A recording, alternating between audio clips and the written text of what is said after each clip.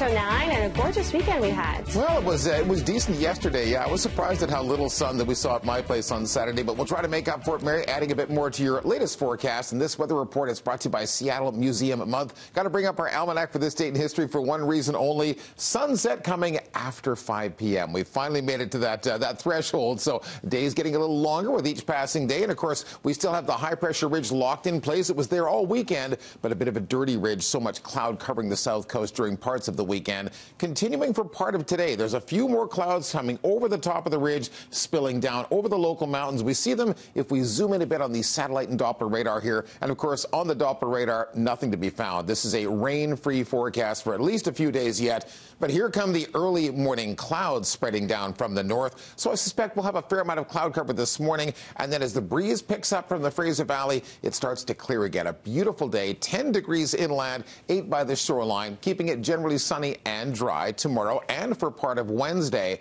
And then Thursday's really our transition day. We get back to wetter weather on Thursday into Friday. Lots of rain. What is that squirrely little icon down here? Well, that is your groundhog for Groundhog Day Saturday morning. And as it stands, lots of clouds, lots of showers. I guess we'll keep our fingers crossed and see what the little rodent tells us. That's right. And our other favorite rodent in the building. Good morning, Thor. Just gnawing on the drywall over here. Yeah.